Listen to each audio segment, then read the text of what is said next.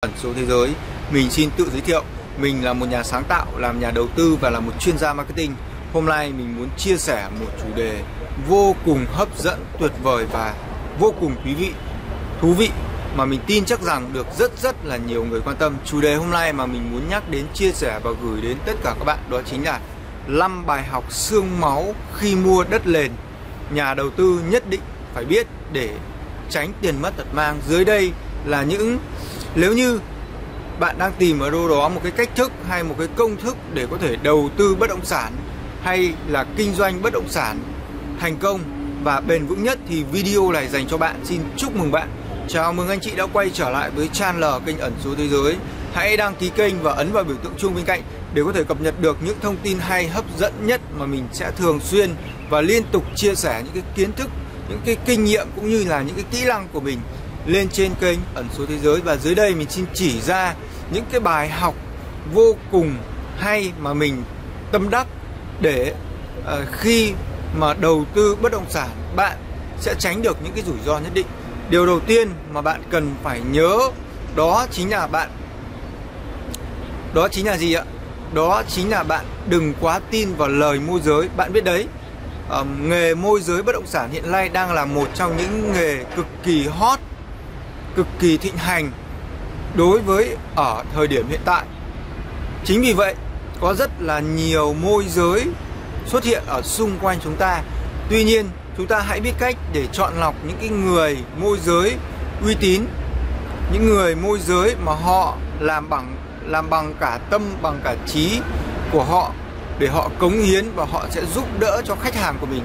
Còn nếu như bạn gặp phải những cái người môi giới bất động sản, nghĩa là họ sẽ tư vấn cho bạn sai về những cái thông tin mà họ chuẩn bị bán, những cái dự án mà họ chuẩn bị bán, thì họ sẽ cung cấp cho bạn những cái thông tin sai lệch.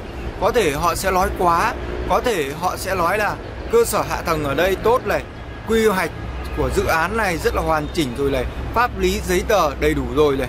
Thì đó chính là một trong những cái mà bạn cần phải lưu ý, đó chính là bạn đừng quá tin vào lời của môi giới mà bạn hãy lựa chọn những cái môi giới mà uy tín. Đa phần chúng ta có lời khi đầu tư đất nền, khi đầu tư bất động sản. Đó chính là bạn tìm được cho mình những cái người môi giới uy tín, những cái người môi giới mà họ sẵn sàng làm việc bằng tất cả những cái sự nhiệt tình, cái sự tâm huyết của họ. Và cái điều số 2 cái bài học số 2 ở đây mà mình muốn chia sẻ, muốn gửi đến tất cả các bạn để mà tránh mất tiền tránh mất tránh mất cái số tiền mà bạn vất vả khó khăn kiếm được thì bạn cần phải lưu ý cái điều số 2 này. Đó chính là bạn đừng bao giờ chạy theo đám đông.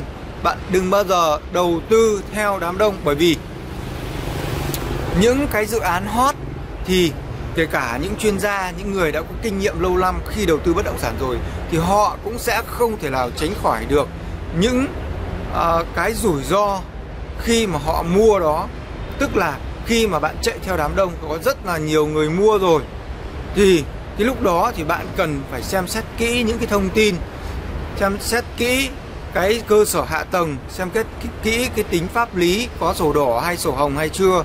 Bạn xem xét kỹ cái vị trí kết nối đó họ nó có thuận tiện cho giao thông hay không.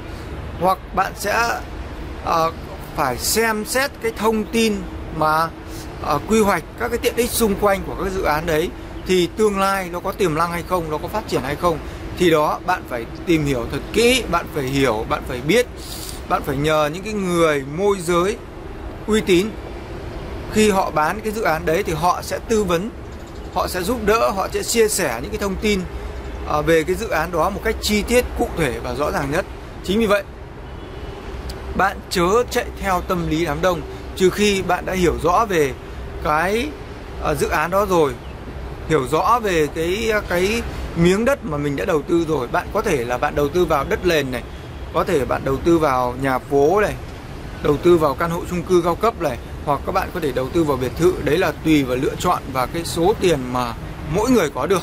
Đó chính là cái điều số 2 mà mình muốn chia sẻ, muốn gửi đến tất cả các bạn ở đây.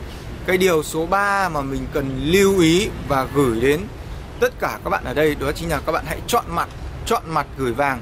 Bạn biết đấy, rất nhiều nhà đầu tư chỉ vì ham rẻ mà họ đã đánh đổi bằng à, rất là nhiều những cái công sức, những cái mồ hôi của họ để kiếm ra số tiền đó. Chỉ vì ham rẻ mà họ chọn một cái dự án đó, nó không có sổ đỏ. Một cái dự án đó tương lai nó không phát triển thì đó chính là lưu ý số 3 mà mình muốn gửi đến tất cả các bạn. Đó chính là bạn hãy chọn mặt, gửi vàng. Bạn hãy chọn những chủ đầu tư uy tín. Đã chọn những cái chủ đầu tư họ đã có kiến thức, kỹ năng cũng như là kinh nghiệm trong cái việc mà họ đầu tư những cái dự án trước đó rồi. Đó chính là chọn mặt, gửi vàng. Và bạn cần phải xem xét một cái yếu tố nữa, đó chính là bạn phải xem xét là cái chủ đầu tư này họ có nguồn lực tài chính như thế nào. Họ có sẵn sàng để làm à, tất cả những cái gì mà họ đã cam kết hay không. Thì đó chính là cái yếu tố cực kỳ quan trọng mà bạn cần phải lưu ý cần phải tìm hiểu. Bằng mọi giá bạn phải tìm hiểu. Tuy nhiên à, lợi nhuận cao thì song song với rủi ro cao bạn phải mạo hiểm. Chính vì vậy bạn hãy tìm hiểu trên cái sự hiểu biết của mình. Nhờ mọi người xung quanh tư vấn nhờ chuyên gia tư vấn thì từ đó bạn sẽ giảm được giảm thiểu cho mình được những cái uh, rủi ro không đáng có. Hello, xin chào lại là mình đây Mình xin chia sẻ tiếp một cái điều cuối cùng Đó chính là bạn không lên mua đất nền Hay bất cứ một cái gì đó ở Đất nền hay là căn hộ chung cư Hay là biệt thự Hay là biệt thự liền kề Hay là shop house Hay bất động sản nghỉ dưỡng Tất cả mọi thứ đấy thì bạn không lên mua những cái chỗ mà họ có chung quyền sử dụng đất. Bởi vì những cái thứ mà có chung quyền sử dụng đất ấy Thì nó sẽ chưa được phân lô tách nền Chính vì vậy bạn phải đặc biệt lưu ý về vấn đề này. Cái tính pháp lý phải rõ ràng khi mà bạn đầu tư bất động sản Khi mà bạn kinh doanh bất động sản, bạn mua đất nền Để với hy vọng rằng à, cuộc sống của mình sẽ trở nên tốt hơn Với hy vọng rằng tương lai nó sẽ có tiềm năng và nó sẽ nhân đôi, nhân 2, nhân 5, nhân 10 Thậm chí là nhân 20 Thì bạn cần phải để ý đến một cái yếu tố Đó chính là không được mua những cái mảnh đất mà có chung quyền sở hữu của rất nhiều người. Đây là một cái yếu tố mà cực kỳ quan trọng mà rất nhiều người bỏ qua. Họ à, cứ nghĩ rằng là khi mà họ đã chọn được cho mình một cái mảnh miếng đất rẻ, những cái miếng đất mà có thể uh, phù hợp với cái tài năng, với cái cái cái, nguồn lực tài chính của họ nhưng họ lại không để ý đến vấn đề pháp lý.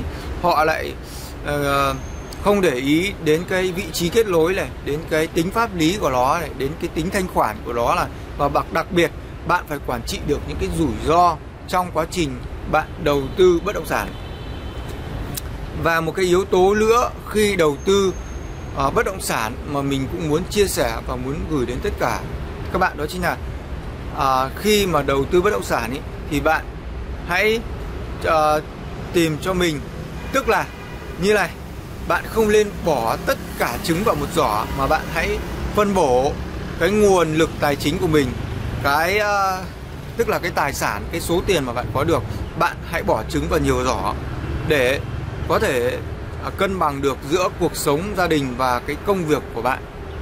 Khi mà bạn đầu tư vào một chỗ này, thì cái chỗ đó nó sẽ gặp rủi ro chẳng hạn, thì bạn vẫn có những cái kênh đầu tư khác để có thể đảm bảo cân đối được cái cuộc sống hàng ngày của bạn. Từ đó giúp gia đình bạn đỡ gánh nặng hơn về cái nguồn lực tài chính cũng như là cái tinh thần, cái sức khỏe.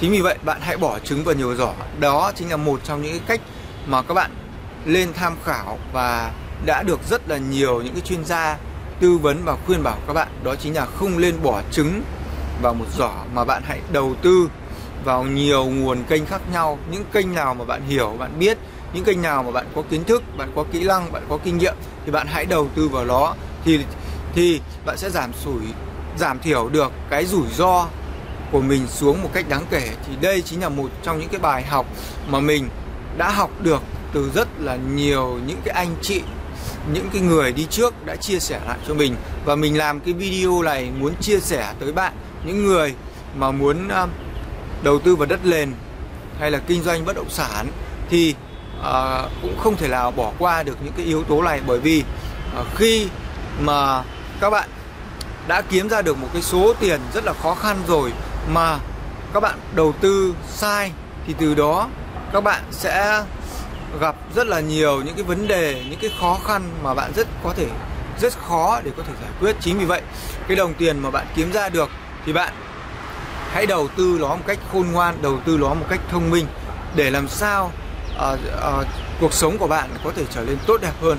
Trên đây mình đã chia sẻ những cái điều mà khi nhà đầu tư mua bán đất nền nhất định bạn phải biết. Nếu như anh chị và các bạn thấy video này của mình hay hấp dẫn thú vị thì hãy cho mình xin một like, một đăng ký kênh để mình có động lực, mình sẽ tiếp tục ra những cái video lần sau và chia sẻ cho bạn những cái kiến thức mà mình nhận được và có được. Video này của mình đến đây là kết thúc. Xin chào và hẹn gặp lại các bạn trong những video lần tới. Xin chào và hẹn gặp lại.